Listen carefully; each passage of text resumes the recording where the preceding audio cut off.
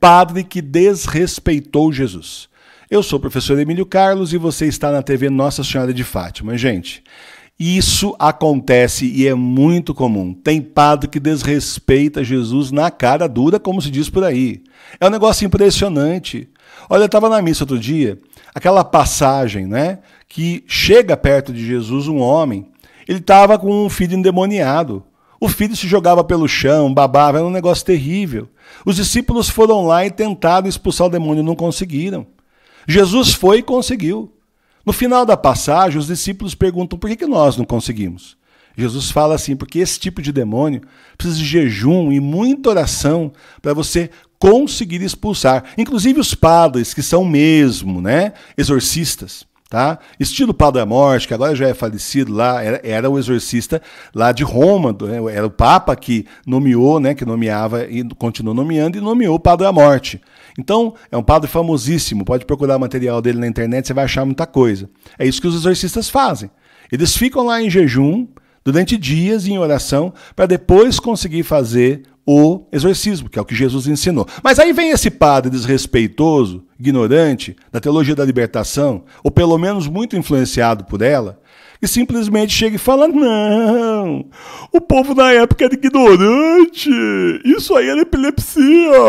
Gente, o cara está querendo saber mais que Jesus. O povo da época é ignorante, está chamando Jesus de ignorante, Jesus é Deus. E ele disse que era demônio. Se fosse epilepsia, Jesus diria: não, isso é uma doença. Ele falaria. Jesus não estava lá para enganar ninguém, ele sabia de tudo. Então, padre que faz isso, quando você está na missa, está desrespeitando Jesus, dá da vontade de levantar e dizer: Padre, o senhor respeita Jesus, por favor? Se não dá para o senhor respeitar Jesus, o que o senhor está fazendo aí na missa? Dá vontade. Gente, no ano passado, na época da eleição, começou a aparecer gente, cenas de gente que começou a levantar no meio da missa, discutir com o padre. Porque tem gente que fala muita besteira. Eles pegam o microfone e ficam lá autoritariamente falando o que eles querem que dá na cabeça. Pô, pelo amor de Deus, parece que nem prepara homilia, gente sem fé. Então, é assim. São pessoas que precisam desesperadamente da gente rezar, inclusive Nossa Senhora Rosa Mística. Ela apareceu justamente, nós temos um vídeo aqui no canal, falando exatamente da conversão dos padres, que precisava rezar e fazer muito sacrifício pela conversão dos padres. Olha, faz tempo, isso daí foi no século passado, olha no que que deu. Está acontecendo o que Nossa Senhora também falou em La Salete. Vamos rezar por essas pessoas para elas se encontrarem. São pessoas infelizes, pessoas doentes. Tem um aí que falou: é, eu vou em tratamento psiquiátrico, psicológico, deve ir mesmo, porque você não acredita em mais nada, meu filho. Você não tem. A gente vai buscar, quando a gente não consegue resolver aqui, nós vamos lá na frente do sacrário, vamos rezar, vamos buscar o que a gente precisa com Jesus. Essa pessoa não tem Jesus. Essa gente acha que Jesus simplesmente era mais um ser humano, tem a dó, isso é heresia. Então vamos rezar por esses padres, para que eles parem né, de criticar Jesus, de desmerecer Cristo, nosso Senhor. E também, gente, você tem todo o direito no final da missa ir lá e dizer, padre, eu não gostei da sua homilia por isso e mais aquilo. Ou ir durante a semana na secretaria e falar com eles, eu não gostei. Você tem esse direito. Porque, afinal das contas, é a nossa fé. Se eles não guardam a nossa fé, nós vamos ter que guardar. E nós vamos ter que defender a Cristo.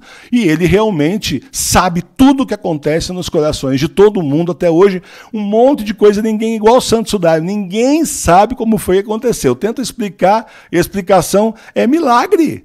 Não tem explicação humana.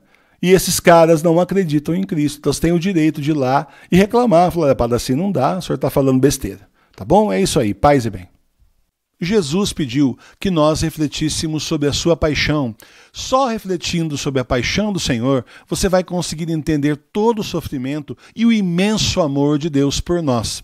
Por isso, a TV Nossa Senhora de Fátima lançou o livro O Relógio da Paixão, as últimas 24 horas de Jesus.